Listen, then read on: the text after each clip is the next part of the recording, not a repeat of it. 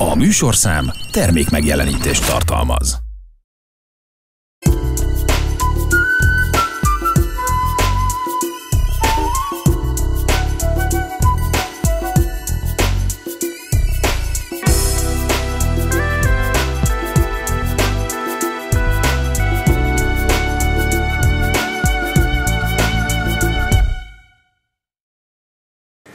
Szép estét kívánok, köszöntöm kulturális magazinunk a Paletta nézőit január 24-én, kedden 17 óra 20 perckor.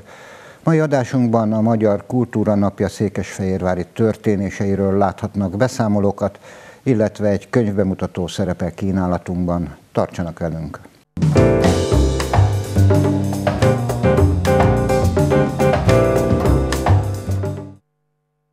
A Magyar Kultúra napján átadták a Prokultúra Alba Régia díjat. Az elismerést ebben az esztendőben a Székesfehérvári Művészek Társasága érdemelte ki. Ebben az esztendőben a Hímerház díszterme adott otthont nemzeti imánk a himnusz születésnapján megrendezendő Magyar Kultúra napi ünnepségnek. Az esten a hagyományokhoz hűen átadták a Prokultúra Alba Régia díjat. Cserpakovics András polgármester köszöntőjében kiemelte, hogy régióközpontként a város kulturális élete meghatározó, és kifejezte meggyőződését, hogy a kulturális intézmények és a civil szervezetek együttműködése töretlen. Nagyon szép ünnep és hagyomány, most meg különösen azt hiszem, hogy, hogy különlegesnek mondható egyrészt, hiszen a nemzeti imádságunkra születésnapján és hozzá kerek születésnapján emlékezhetünk, de ez az esztendő, ez Petőfi Sándor egy kerek évfordulója rá emlékezés, azt hiszem egy, egy nagyon fontos pillanata, és most pedig egy kerek évfordulót, születésnapot ünneplő közösséget, egy székesfehérvári alkotó közösséget is ünneplünk, és neki átadjuk a Prokultúra díjat. Azoknak is, akik ennek a közösségnek tagjai voltak, vagy jelenleg is tagjai, és remélem őket is megerősíti, hogy jó az az út, amivel összefogottan mennek előre, és segítik, gazdagítják a város kultúrát kulturális életét, ami azt hiszem, hogy nagyon-nagyon gazdag, nagyon-nagyon sokféle kulturális intézményünk van, emellett nagyon-nagyon fontos kulturális civil műhelyek is dolgoznak a városban, és együtt azt hiszem, hogy egy nagyon rangos kulturális életet tudhatunk magunknak, amit persze ápolni kell, gondozni kell, és erről is szól egy kicsit ez a mai nap, de talán lehetőséget ad arra is, hogy köszönetet mondjunk azoknak, akik a, a fehérvári kulturális életben dolgoznak minden napokban, nem csak az ünnepnapokon, hanem a szürke hétköznapokon is annak érdekében, hogy a közös közösség egésze és a kultúra lehetőségein és értékein keresztül erősödjön. A rangos elismerést a Székesfehérvári Művészek Társaságának elnöke, Végvári Beatrix vehette át, aki művésztársaival együtt alkotó munkájukkal sokat tettek a város kulturális arculatának alakításáért. A Magyar Kultúra Napjának ünnepe fontos mindannyiunknak. Az Egyesület ugye éppen elmúlt 30 éves, egy nagyon lelkes, összetartó és hát baráti kapcsolatokat ápoló társaságról van szó, akinek nagy doányei vannak, vannak lelkes fiatalok, és ez a 30 év nekem inkább egy új nyitány. Mint ahogyan a villámhárító csúcsán az egész végkör elektromossága összesűrűsödik, a történelemben is események sokasága zsúfolódik össze arasznyi időben. Idén Szikora János a teátrum igazgatója rendezésében a himnusz születésnapjára emlékezve a Vörösmarty Színház művészei, az Alba Régia Szimfonikus Kamara Együttese nemzeti imánk mellett Petőfi Sándor és Madács Imre évfordulóját is köszöntötték.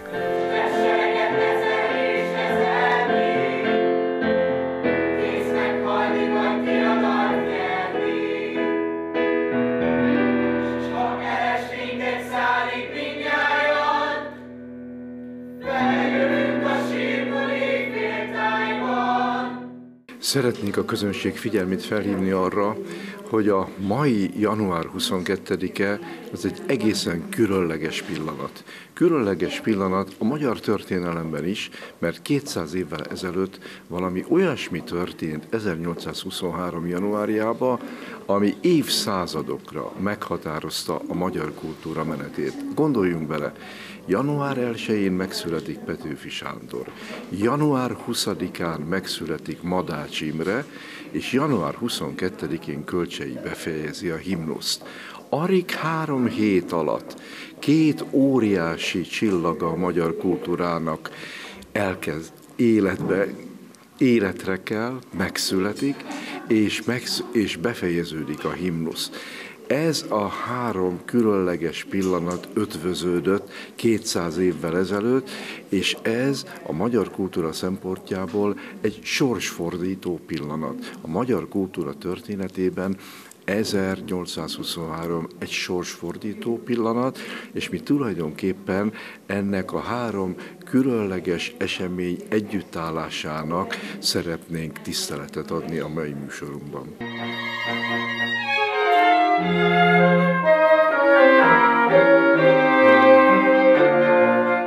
Az est megerősítést jelentett a díjazottakon túl mindazoknak, akik megtisztelték jelenlétükkel az ünnepi eseményt, hogy Székesfehérvár továbbra is a kultúra városa, ahol a művészet meg annyi képviselője talál otthonra. Él büszke távol. Harcra készen, vért vágyó szemekkel.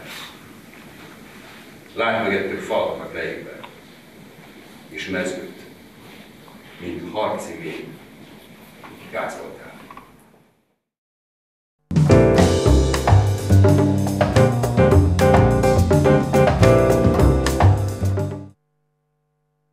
Rendkívül színvonalas programkavalkáddal köszöntötte Nemzeti Imánk születésnapját a Közösségi és Kulturális Központ. A fürdősoron a sokszínű magyar kultúra meg annyi szegmense várta az érdeklődőket. 1823. január 22-én tisztázta le a himnusz kéziratát Kölcsei Ferenc, ennek emlékére ünnepeljük már több mint 30 éve a Magyar Kultúra napját. Tavaly decemberben a 200. évforduló tiszteletére az országgyűlés hivatalosan is emléknappá nyilvánította január 22-ét, amikor országszerte számos rendezvényt szerveznek, hogy bemutassák a magyar kultúra gazdagságát, sokféleségét, hagyományait. Városunkban ebben az esztendőben rendhagyó módon a Közösségi és Kulturális Központ színes programpalettával várta a kultúra barátait egy mozaikot állítottunk össze. Mi, akik a művési házakban dolgozunk, a kollégáimmal tulajdonképpen közvetítők vagyunk, közvetítők a közönség és a művészeti együttesek között, és hát Fehérváron nagyon sok profi amatőr csoport is működik, és hát ezért gondoltuk, hogy nyilván a Balettszínház, a Szimfonikus Zenekar, a magyar filmek, és ugye távolban a Barátságmozés is itt is olyan filmeket mutasson be, mely a magyar kultúrához kapcsolódik, és természetesen a kiállításunkon, ahol a Vörösmarty Színház is megmutatkozik, pontosan ezt a mozaik missziót szolgálja. A Közösség és Kulturális Központ munkatársai nagyon sokat tettek azért, hogy méltó módon köszöntsék a himnusz születésnapját. Azt szerettük volna, hogyha a kultúra minden szegmensét meg tudjuk ma mutatni. Filmvetítésekkel várjuk a nézőket, gondoltunk a gyerekekre és a felnőttekre is. Levetítjük a Kemény Kalap és Krumplior című filmet a gyerekeknek, illetve azoknak a felnőtteknek, akik gyerekkorukból még emlékeznek rá. A Hippolyta Lakály című filmet, ami a régi, az eredeti verzió, illetve a kettő között rövid filmekkel, a mai magyar magyar rendezők rövid filmjeivel várjuk majd a nézőket. Ezen kívül a Déli Színház előadásában, illetve segítségével ide látogat hozzánk a Polc Alen mű, az Ideje a meghalásnak című, ahol Markó Valentyik Anna egy báb segítségével ad elő egy egész 60 perces műsort. A Vörösmarty Színház a 2018-as Régi Módi Történet című művének a jelmezeit, illetve a bútorait bocsájtotta rendelkezésünkre, ebből egy kiállítást szerveztünk, erre is szeretettel várjuk az érdeklődőket. Ezen kívül a társasjáték klub magyar társasjátékokat mutat be, illetve ellátogatott hozzánk egy olyan magyar társasjáték tervező, aki a saját társasjátékát mutatja be, illetve tanítja meg, hogy hogyan kell játszani. Négy órakor egy pesgő kultúrsétára várjuk a látogatóinkat, ahol fellép a Fehérvári Balettszínház és az Alba Régia Szimfonikus Zenekar is. Ezt Gruber Nóra fogja vezetni, beszélgetnek majd a rövidfilmekről, illetve a színház által nekünk nyújtott kiállításról, és ide látogat Varja Zsófia jelmeztervező is. Az est házigazdája, Gruber Nóra gondoskodó tisztelettel délután négy órától pesgős kocintásra és a házon belüli kultúrsétára invitálta a vendégeket, megismertetve a programban résztvevők múltjával és jelenével a közönséget. Úgy építettem fel, építettük fel a kollégákkal a kultúrsétát, hogy a magyar kultúrának minden szegmensét meg tudjuk azért valamilyen szinten mutatni. és mégis a Fehérvári Kultúr intézmények becsatlakozásával. Így van lehetősége a Székesfehérvári Balett Színháznak bemutatnia egy úgynevezett táncverset, ami magyar versekből fog állni, amire táncolnak, és előtte fogok például beszélni a magyar balett kialakulásáról. Az Alba Régia Szimfonikus Zenekar fog zenélni nekünk Bartók hegedű duókat, erről is fogok előtte kicsit beszélni. A Vörös Marti Színház régi módi történet című előadásából egy kiállítást nyitottunk, vendégünk lesz egyébként a kiállítás jelmeztervezője, ugye a jelmezek és a bútorok vannak kiállítva, előtte a Vörös Marti Színház történetéről, a színjátszás történetéről fogok egy kicsit beszélni. Tehát próbáltuk úgy kialakítani, hogy, és hát a filmekről meg is feledkeztem, de hogy természetesen filmvetítésekkel készültünk régi klasszikusokat, és 2017-18-19-es rövid filmeket fogunk vetíteni egész délután, és előtte a magyar filmművészet kialakulásáról, kezdeteiről fogunk beszélgetni, reményeim szerint beszélgetni, és és hát nem utolsó sorban összefoglalni azt, hogy miből áll a magyar kultúra, aminek az alapjai és a kiinduló pontjai mi magunk vagyunk. Már fiatalon arra gondoltam, hogy sok ránccal, kedves ráncokkal szeretnék megöregedni. Ez úgy, ahogy sikerült is. Mégis, mikor időnként a tükörben nézek, a ráncaim megrémítenek. Nem az, hogy milyenek a ráncaim. A magyarországi hospice mozgalom alapítója Polc Ellen, pszichológus író szövegei ihlették azt az előadást, amely egy különleges művészi formában a drámai színház a táncművészet és a bábos műfaj határán beszélt az elmúlásról, a halálról. A KL Színház Markó Valentyik Anna bábművész színésznő előadásában várta a színház barátokat. Szakmailag is egy nagyon különleges dolog történt velem a próba folyamat alatt és az előadások során, és emberileg is, tehát Polcalen életműve, munkássága az, az olyan, amit mindannyiunknak, teljesen mindegy, hogy hol élünk a világon, kellene tudnunk, ismernünk, sokkal könnyebb, tartalmasabb lenne, úgy azt hiszem, a mindennapok. Hogy lehet ezt a mélységet átadni, továbbítani, amit ő képvisel? Mm, azt hiszem, hogy a humor tehát a könnyedség és a mélység muszáj, hogy kéz a kézben járjon, úgy talán könnyebb közvetíteni, de ez azt gondolom, hogy az ő személyére és a, a, az írásain is át, átsejlik ez a személyisége. Mm, muszáj megértenünk, hogy helyén kell kezelnünk a dolgokat, és ami, ami igazán komoly és mély, azt úgy megélni, és ami, ami könnyedebb annál, mint amit gondolunk róla, azt pedig úgy megélni, mindent a helyén kezelni nagyon helyén kell kezelni azt is, hogy ez voltak éppen valamennyi generációhoz szól, ugyanakkor rendkívül fontos lenne, hogy a fiatalok ezt minél többen nézzék, hallják, átéljék és megértsék. Így van, ez, ez, egy, ez egy fontos célja is lehet az előadásnak. Sajnos vagy nem sajnos, én azt tapasztalom, hogy mindegy, hogy hány évesekről beszélünk, tehát 50, 60, 70 pluszos embereknek is néha újdonság, hogy ilyen dolgokról merjenek gondolkodni. Nagy érdeklődés kísérte Varja Zsófia a Vörösmarty Színházi jelmeztervezőjének kiállítását is. Az örökbecsű Szabó Magda mű a színházi évad egyik klasszikus sikerdarabja a régi módi történet előadásának jelmezeiből és kellékeiből nyílt tárlaton, varázslatos a színműben látott korhű ruhák és bútorok látványában most testközelből gyönyörködhettek a látogatók. Egy hatalmas feladatról volt szó, amikor ezt a, ezt a darabot színre vittük. Nem csak azért, mert egy egészen különleges családregényről van szó, ami évtizedeket ölel fel, tehát több generáción átívelő családregény, ami, ami gyakorlatilag viselettörténeti látványosságokat is felvonultat, és végig követhetjük, hogy adott esetben, és ezek itt a jelmezekhez kapcsolódnak elsősorban, hogy hogyan is változik meg a viselet mondjuk az 1800-as évek második felében egészen a századfordulóig. Ez, ez adta inkább a nagy feladatot, ami hát természetesen egy, egy, egy nagyon komplex kutatómunkával jár, belemélyedni abba, hogy hogyan és miként viselték ezeket az öltözeteket a darabban látható látható karakterek, szereplők, és aztán utána ezeket a, a, a ruhákat gyakorlatilag színpadra kell igazítani. Tehát a színpadhoz, a színpadi mozgáshoz, a szín, színpadi létre, léthez kell igazítani. Ez az illúzió nagy művészete lesz, és mégis megtartani azokat a, a korabeli jegyeket, amitől mondjuk egy turnőrös ruha, turnőrös ruha, egy századfordulós szabásvonal megjelenik.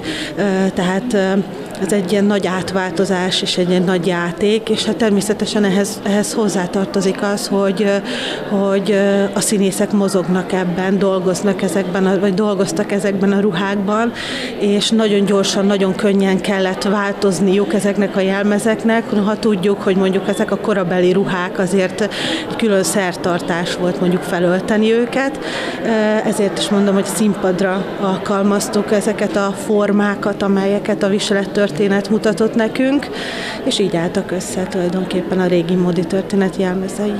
Szállunk a nyárból, ízve szállunk, valahol az őszben megállunk, fölborzolt tollal szerelmesen. Ez az utolsó nászunk nékünk. Egymás húsába beletép. Egerházi Attila a Balett Színház igazgatója koreográfusként is bizonyította kivételes empátiáját. Egy olyan kivételes ajándékkal köszöntötte Nemzeti Imánk születésnapját, amelyben a kortás táncművészetet ötvözte a zseniális másság csodáját nyújtó Adi költészetével és a színész király Latinovics Zoltán borzongató előadásával. Fontosnak éreztem az, hogy eh, méltó módon eh, emlékezzünk meg és ünnepeljük a Magyar Kultúra Napját. Eh, többféleképpen lehet megünnepelni, mi szavak nélkül tettük, de ez sem igaz, hiszen Latinovis tolmácsolásában az egyik, elárulhatom egyik kedvenc, hanem a legkedvesebb költőm Adi Endre verseire készítettem két do- rövid dolgozatot. Ahogy mondottad, rövid, de velős, mint ahogy az Adi versek is rövidek, de velősek. Nagyon fontos az utóbbi munkáim során az, hogy az irodalmi, irodalmi szövegekre készítsek műveket, koreográfiákat, tehát hogy találkozzon az irodalom, a szöveg, a tánccal, a testbeszéddel, a beszélt szöveg a testbeszéddel karöltve, összefonódva, mint a szerelmesek együtt hozzanak létre alkotásokat. Ez egyébként egy tanulmánymunkának is felfogható, és talán nem árulok el titkot, de lehet, hogy titkot árulok el, hogy terveim között szerepel Adi Endre költészetét megörökíteni, táncba formálni, és ahhoz készítettem ezt a tanulmányt, amiből majd talán egy darab is kiforja magát.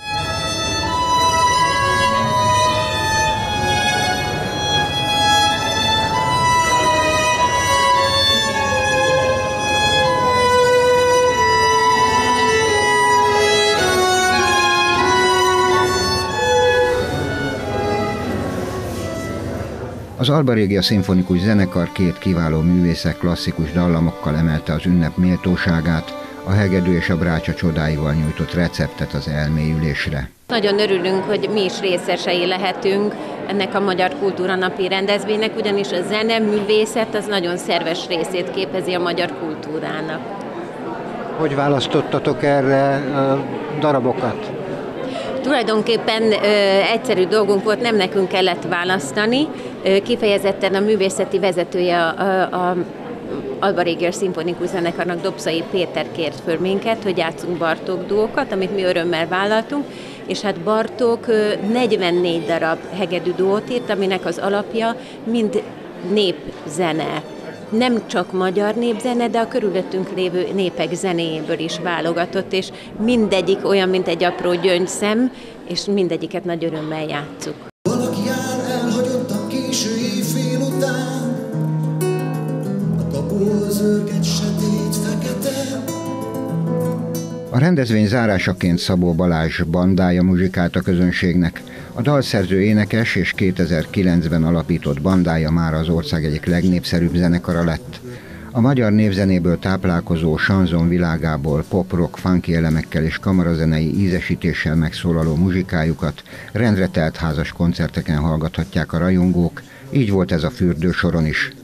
Szabó Balázs számára fontos a vers megzenésítés hagyománya.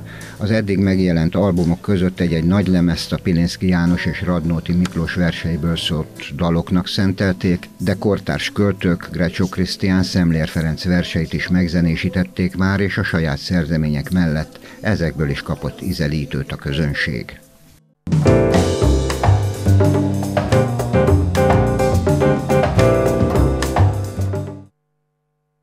Utcai performance köszöntötte a himnusz születésnapját a Szabad Színház. Az ünnepen Nagy Judit tolmácsolta a nemzeti imánkat, majd a Hungarikum együttes dalaival köszöntötték az ünnepet. Isten, áld meg a magyar! Jó kedvel, bőséggel. Nyújts feléje védőkart, a küzd ellenséggel. Balsors, akit régen tép, hoz rá vígesztendőt. Megbűnhődte már a nép a múltatós jövendőt.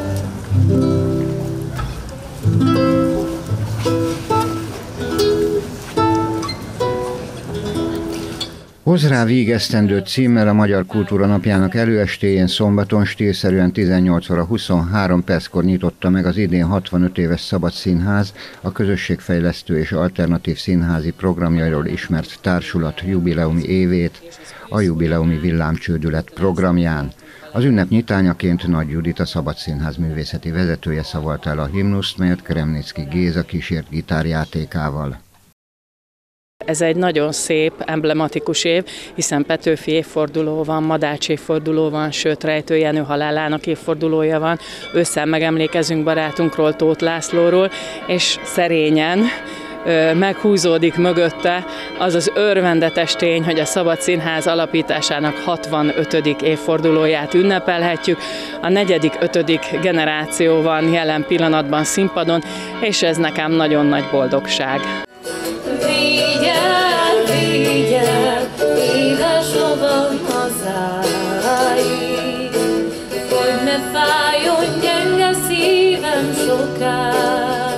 A Hungarikum zenekar közreműködésével egy rövid közös éneklésre is várták az arra sétálókat és a közönséget. Magyar kultúra ünnepe. E, nem azért, mert nem én találtam ki, hanem mert úgy érezzük, úgyhogy le is veszem a kalapomat, majd lesz egy olyan dallam, amit kalap nélkül kell, hogy kísérjek, előadjak, és hát mindent jelenti a, a 1823 a magyarságunkat, a, a, a kultúra mély mm, voltát és a, a, az egész nemzettudatot jelenti a, a himnusz.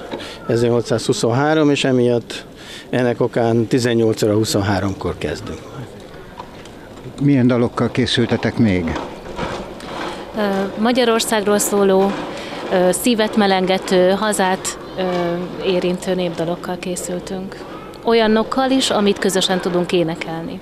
Az utcai performance egyben nyitó rendezvénye volt a társulat jubileumi évének is, amelyet számos rendhagyó rendezvény és előadás létrehozásával teszi majd emlékezetessé a társulat Székesfehérváron.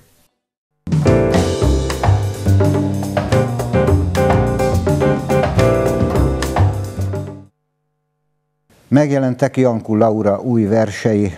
A Vágány mellett című kötetet a Szent István művelődési házban ajánlották az olvasók figyelmébe.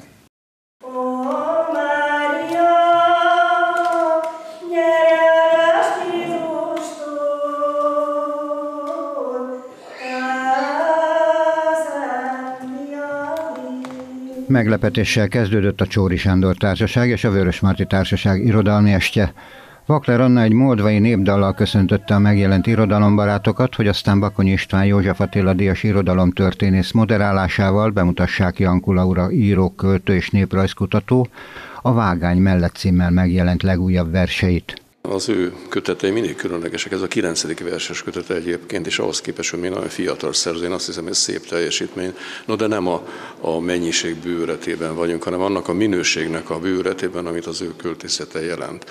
Azt hiszem, hogy a mai kortás lírában róla nyugodtan elmondhatjuk, hogy mondjuk Pirinszki János méltó utóda, hiszen a saját bevallása szerint is Pirinszki, vagy éppen Csóri, vagy éppen Hervai Gizella voltak azok a költők, akik hatottak rá, és kialakult egy olyan fajta belső önvizsgálatot, az Istennel való szoros kapcsolatot, az adott esetben ennek a kapcsolatnak a nehézségét felmutató költészet, ami azt hiszem, hogy valamennyiünké lehet, és ezt hangsúlyozom benne, hogy amikor egy költő a saját magánszféráját elemzi és tárja a világ elé, akkor gyakorlatilag a mi helyzetünket is ezzel érzékelteti, és, és azt gondolom, hogy, hogy ez ebben a költészetben is így van jelen.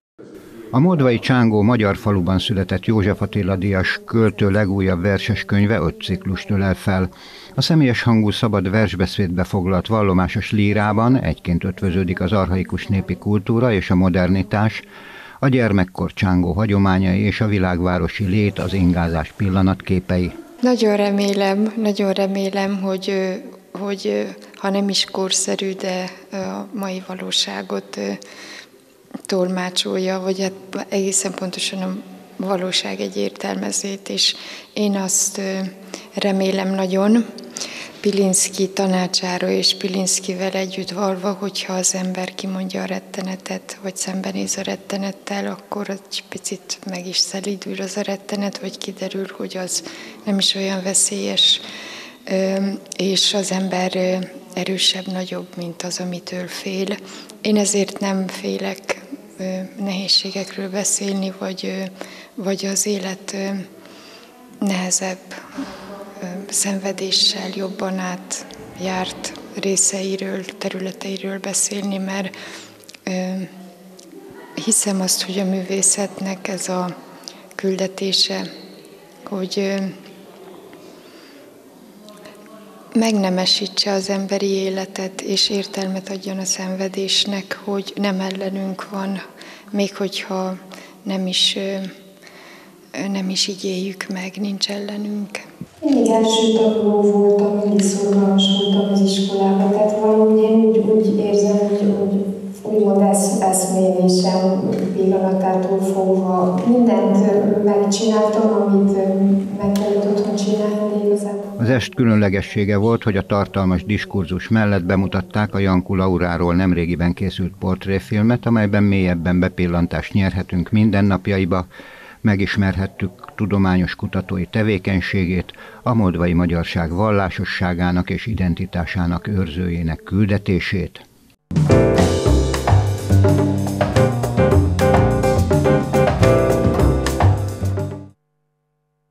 Kedves nézőink, köszönöm megtisztelő figyelmüket, találkozunk a jövő héten ugyanebben az időpontban, ugyanitt. Viszontlátásra!